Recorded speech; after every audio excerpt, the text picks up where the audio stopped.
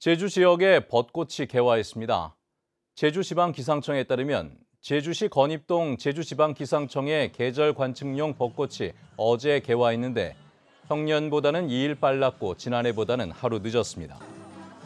기상청은 평균 기온과 일조 시간이 평년과 비슷했고 이달 중순부터 최고 기온이 14도 이상으로 오르면서 벚나무가 꽃을 피우기 시작했다고 설명했습니다.